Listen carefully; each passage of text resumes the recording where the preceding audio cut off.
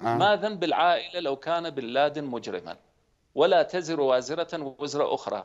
كما أتت عائلة آه، صدام حسين بعد الحرب الكويتية إلى إيران. إيران استقبلت عدي وقصي في كرمنشاه فهذه على أي حال أمور إنسانية لا يمكن ال- الدخول فيها بهذه يعني أنتم الصورة. استقبلتم عدي وقصي بعد الحرب في كرمنشاه نعم نعم.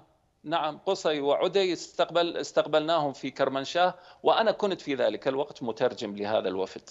أي.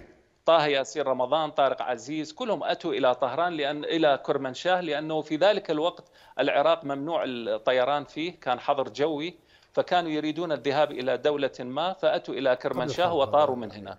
فإذا هذه هناك قبل الحرب سيد أمير هذه المعلومة؟ قبل السقوط قبل السقوط. زين وبعدها عادوا مضطرين أم أنكم لم تسمحوا لهم بالطيران إلى دولة أخرى؟ هاي لا لا قصة لا جديدة. بالعكس، يعني كانوا أحرار يعني كانوا أحرار. الآن رغد عندكم في في في عمان. اسألوها هي تعرف جيدا لأن هي كذلك بعثت برسائل لترتيب بعض الزيارات. السيدة رغد موجودة في عمان عندكم اسألوها.